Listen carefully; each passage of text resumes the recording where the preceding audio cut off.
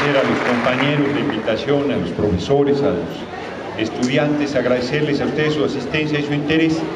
Y quiero empezar con una disculpa que no me corresponde en sentido estricto.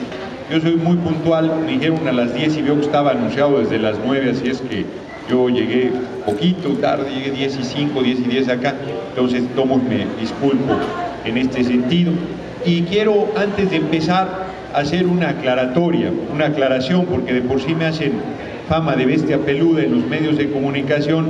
Mi compañero de buena fe decía que yo les recordaba a sus antepasados, a mis adversarios, y la verdad es que no ha sido así. He sido muy fuerte en las comparecencias, muy crítico frente al gobierno de facto.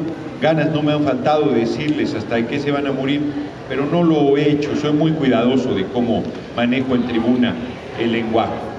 Y miren, ustedes son muy jóvenes, la mayoría, habemos aquí de diferentes edades, pero la mayoría son muy jóvenes, estudiantes de SH, pero algo habrán leído, algo habrán escuchado. En el 2006 nosotros ganamos la presidencia de la República. Y es importante comentarlo porque eso tiene que ver con lo que actualmente es Moreno.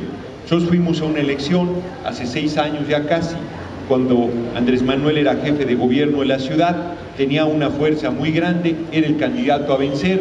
Fox, que era el presidente de la República, hizo todo para tratar de sacarlo de la carrera presidencial, lo desaforó siendo jefe de gobierno, lo quiso meter a la cárcel y hubo una gran movilización popular que impidió que pudieran quitar del camino a Andrés Manuel López Obrador y se enfiló como el candidato a vencer en las elecciones presidenciales.